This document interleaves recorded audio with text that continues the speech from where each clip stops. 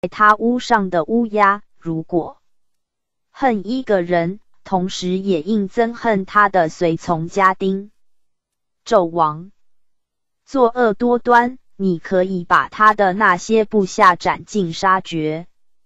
武王否定了姜太公的主张，而根据周公的建议，让那些人回家种田，自谋生路。成语“爱屋及”由兼爱屋上之屋发展而来。家家爱屋及乌井号比喻因喜爱某人而连带喜爱与他有关的人或物。爱屋及乌。周武王在攻克商朝都城朝歌，建立周朝后，问军师姜太公怎样处置商纣王遗留下来的人。姜